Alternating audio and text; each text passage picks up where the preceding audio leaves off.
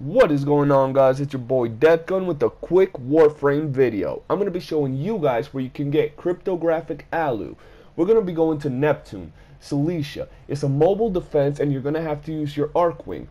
Now, it's not a really high level Archwing mission, but I do recommend that you have decently leveled your Archwing and its weapons. Now, you don't really need to go all out in here, but you do have to pay attention. You're going to have to kill enemies and pick up everything you see because this is how you're going to get the cryptographic alu. If you happen to have Itzal, the Cosmic Crush ability will do wonders for you in here, not only helping you kill faster, but also gather more cryptographic alu. Now guys, I left the whole mission in here so you guys can see how you move with the Archwing, what you have to do if you're interested, but I'm not going to be talking throughout the whole mission because, well, it's just a mobile defense with Archwing. So yeah guys, I hope this quick video helped you guys out. Like I told you, I believe this is probably the best place to farm this resource.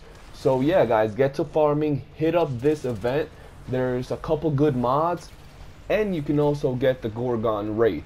So yeah, guys, I'll be seeing you guys fighting the Razorbacks, and that will about wrap it up. See you guys next time. Your boy Deathgun, out.